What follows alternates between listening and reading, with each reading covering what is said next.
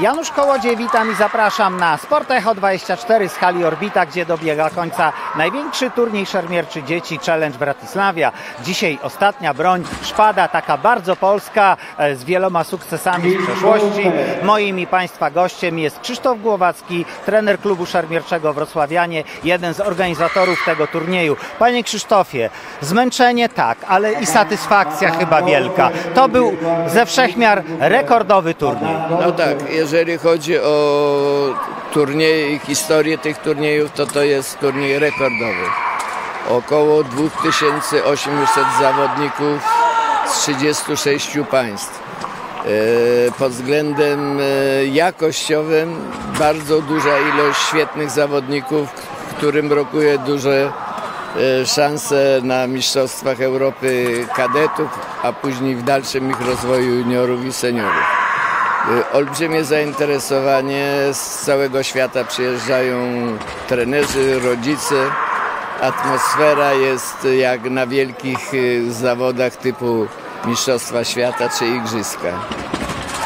Myślę, że y, ten turniej jest już tak rozreklamowany w świecie szermierczym, że nie wymaga żadnej reklamy, a my tylko musimy dostosować się do tej ilości i w sposób jak najbardziej sprawny przeprowadzić go, co jest naprawdę sztuką i, i, i, i świadczy o tym, że Polacy potrafią dobrze wywiązywać się z organizacji wielkich imprez.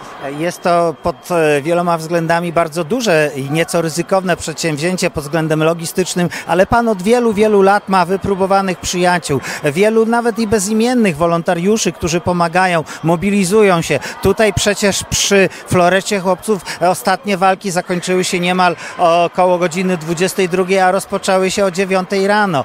I mimo to następnego dnia wszyscy byli w gotowości. Nie zapominajmy o tym aspekcie e, promującym nasze piękne miasto. Ci ludzie, jeśli mają czas, oglądają i kogo by nie spytać, mówią, że są tym miastem zachwyceni. To dodatkowa jakby e, taka e, forma, że ten turniej naprawdę zrobił furorę w świecie.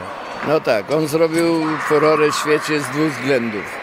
Przede wszystkim sportowego, że jest to turniej, gdzie mogą się spotykać zawodnicy z różnych kontynentów, z różnymi sposobami, taktykami, technikami walki, że e, tutaj na tym turnieju można się wypromować e, na arenę międzynarodową.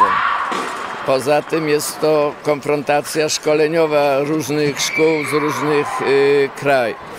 To jest druga rzecz. Natomiast pozasportowa to jest to, że ten turniej pozwala nawiązywać przyjaźnie między zawodnikami z różnych krajów, z różnych kontynentów.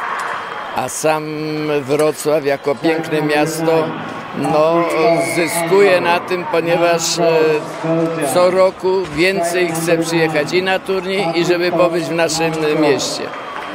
Dla miasta jest to w sumie ogromna promocja i podejrzewam, że niezbyt doceniona, ponieważ przez parę dni trwania turnieju w hotelach, w restauracjach przybywa 3000 osób, ponieważ e, z tymi najmłodszymi przyjeżdżają rodzice, babcie, y, trenerzy i sędziowie.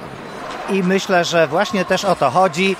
Ten turniej powoli dobiega końca. Będziemy czekać z niecierpliwością na następny, który również będzie rekordowy. Jestem o tym przekonany. Moim i Państwa gościem był Krzysztof Głowacki, trener klubu szermierczego Wrocławianie.